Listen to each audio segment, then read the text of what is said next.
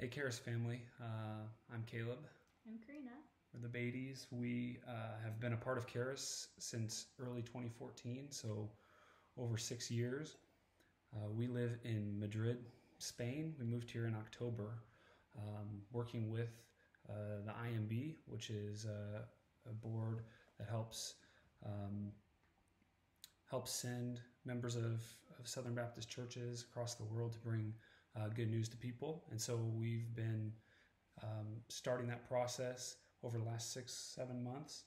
Um, but a couple months ago, um, uh, we obviously ran into to some of the same things that uh, you all are experiencing now in the States as well. And so we just wanted to take a few minutes and, and share. Um, we've had the privilege of seeing how life is going for some of you uh, through some of these video updates and uh, just wanted to share a little bit what's going on in our lives.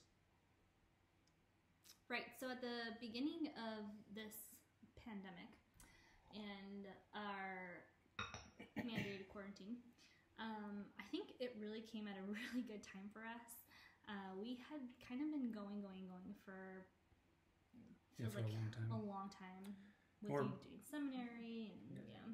We're both natural introverts, and so we had just been meeting new people, moving to a new city, joining a new team, and um, so six months in, we were pretty tired. And so, um, while there's um, a lot of pain and a lot of suffering in our city, we're, we're in one of the hardest hit cities in the world as far as the the coronavirus death toll and uh, infection rate. We um, we were grieved by that, but at the same time, a little bit relieved to have a little bit of time in our house Yeah. um, with our family to to reconnect, to rest, to reestablish some rhythms of of Healthy routine. spiritual disciplines and sleep and, and eating and exercise and, and things like that.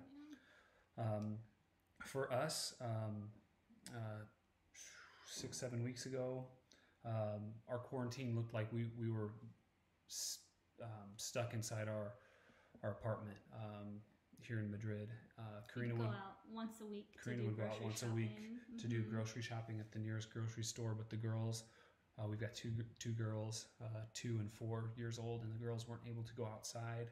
Uh, our apartment overlooks the, a local playground, and so every day they would stare out the window and ask to go outside. But um, 40, 43 days in, they they let us Yeah. uh, take them out, and that was such a huge relief. And and that was last week, I think, or Two.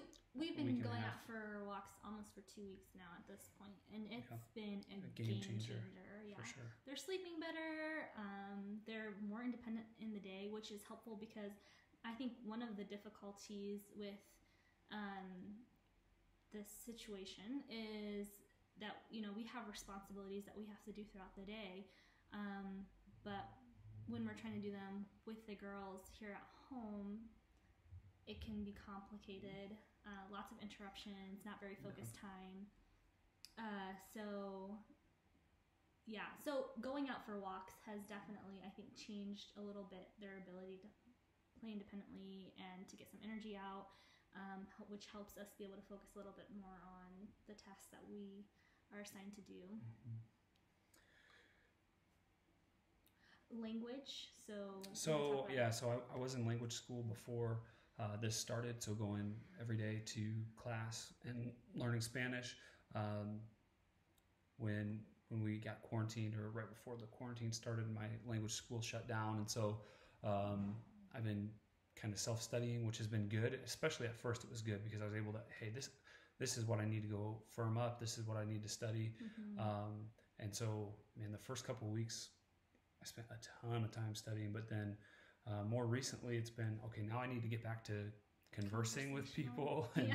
and and using what I've learned so that I can uh, keep it up. So that's been a, a bit of a difficulty. We've you know made made use of video conferencing and things like that, and, and talking to different people, but. Um, It's not just like your work meetings or your meetings with your teachers that uh, the kids are having when the video freezes up it's it's hard to understand even in english and even more so it's difficult in spanish it's um, sometimes difficult so uh, that's been a, a bit of a struggle since that's kind of our first first job or my 1st Mhm. job and so um, that would be um, probably something we'll ask for for prayer for in a little bit but I think the Lord has been super encouraging to Yeah. me um, in, well, first of all, in in just having more time in the mornings to uh, to to read Scripture, to pray, and um, just have time for for some more spiritual disciplines, and then also he's been he's been more than gracious to us in um, helping us connect with with some of our neighbors. So obviously at the beginning, So yeah, so for for me, like it changed a lot because I was I felt like I was actually making some progress getting to know the moms in Miriam's class and um, the last few weeks before the quarantine, they had started inviting me to go to certain parks because sometimes, well, we usually would just go to the park in front of our house, but I guess they kind of rotate a little bit, which I didn't realize they did that. So, and they had started kind of like inviting me to go along with them, and I felt like I was finally like gaining some traction there. Um, but then, of course, with this, now I haven't seen them for months at this point, and so we'll still text a little bit. And Miriam has actually even had some video calls with some some of her classmates, which has been good. Um, but I, you know, it's a little discouraging to think of like where I could be if it hadn't been for the pandemic at this point with uh, the moms in her class. Um, but on the flip side, um, we could never have imagined the connections that we've made this these past weeks with our neighbors, Yeah. like in any other scenario. and it and it uh, there's a neighborhood texting group that um, we were invited and put on, and it's really helped us to connect with our neighbors. One of our neighbors had a cardiac arrest, um, ended up in the hospital unconscious, and I texted his wife and was like, "Hey, I just want you to know that we're praying for you. Like you you don't know me," and she responded by saying, "Oh, we know exactly who you are," because Caleb and I have been able to sing songs to our neighbors on Sundays, and so apparently our neighbors kind of know us now, which is amazing. Some neighbor stopped you the other yeah, day on yes, the street. yeah, yesterday, uh, Yeah. Dad stopped me and, and said, "Hey, we don't know each other, but you know, I'm Carlos," and I said, "Oh, I'm Caleb. Nice to meet you." And um, and so yeah, uh, most of you probably have heard the story of of what um, what the Lord did on on Easter and let us sing a song uh, out our window, um, and and we've they've our neighbors have asked us to continue to sing songs to them on Sundays, and so we've been singing songs with gospel themes, and we've just been able to to really um, pretty explicitly proclaim the gospel through song, Mhm. um, which uh, we never saw that opportunity coming, and